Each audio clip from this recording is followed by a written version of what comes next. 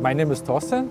I work at Broadcom and we design silicon and integrated circuits um, going into your smartphones and I did the class, the online training or online classes for the embedded systems. I was um, thinking I want to extend my, my knowledge and my experiences and try to learn to program logic because this is not what I do during work, other guys are doing it. And then I saw, saw some classes and I, I joined some of them and they were so great and the teachers were so experienced and so much skill sets they gave to me.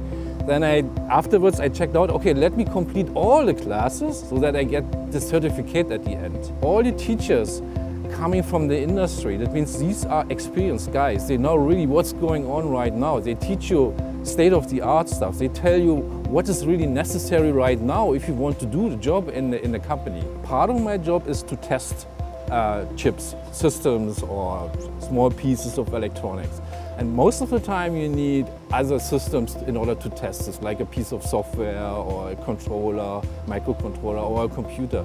And this helped me a lot to improve my skill sets. For instance, how to use a real-time operating system and how to write uh, real-time specific software.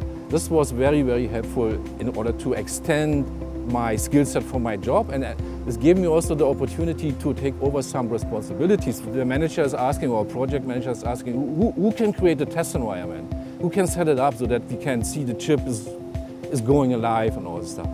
I could say, I can do it. I have the, the, the, the skill set or the knowledge and then I know also what has to be done really at the end. What does it mean to create a firmware which is used for testing, especially in real-time aspects. That means you have to be fast, performant and all this stuff. And this is what, what I learned during the classes.